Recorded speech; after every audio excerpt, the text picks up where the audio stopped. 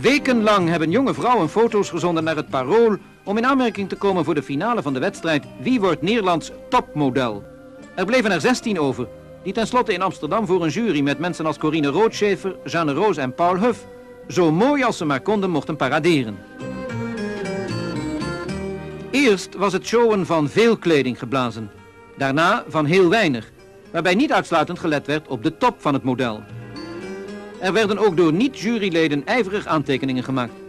Sommige meisjes kwamen aardig uit de grondverf. Liever naakt dan namaak leek ook hier het parool.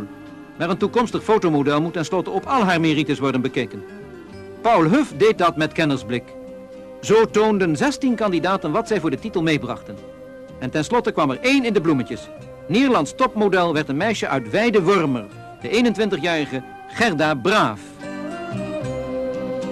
Volgens de Engelse juryleden is Gerda niet een meisje met het gezicht van vandaag, zoals de 15 anderen, maar een model met het gezicht van morgen, van overmorgen en nog van jaren daarna.